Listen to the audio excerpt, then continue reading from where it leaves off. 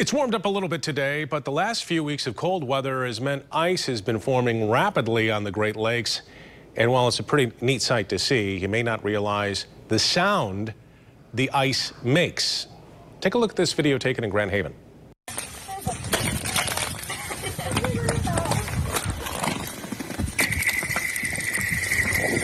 Big one.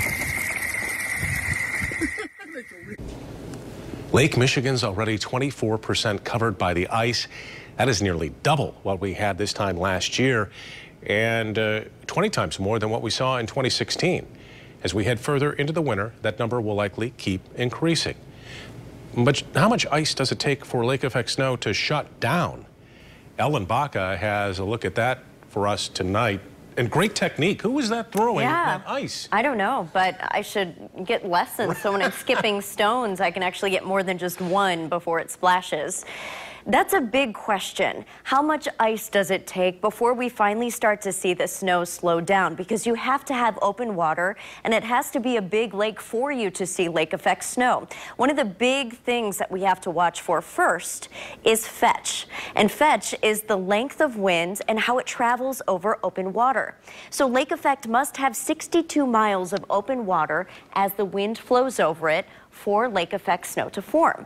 So here's an example. If we had a west wind and complete open water, no ice cover on the Great Lakes, we would have about 86 miles from Milwaukee to uh, right around the Holland area for that air to soak up some moisture. A northwest wind right around 100 miles. And then if we had a north-northwest wind, that's when we usually get those really big snow events, three to 400 miles.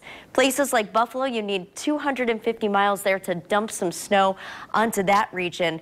And uh, again, it's all about that wind direction so you can get that length over the lake and how much, how much ice coverage is on the lake. So here are some of those current ice levels now. Lake Michigan 23.5%, but Lake Erie 87.2% right now covered in ice. And that is too much for you to see lake effect snow forming. That means there's only 60 miles or less than 60 miles of open water there. So that means the people in Buffalo don't have to worry about lake effect here.